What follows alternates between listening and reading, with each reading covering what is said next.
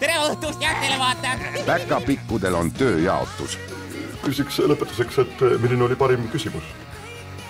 mõned piiluvad, mõned tassivad komme ja mõned teevad diskot. päkapiku disko laupäeval kell üheksateist nelikümmend viis Eesti Televisioonis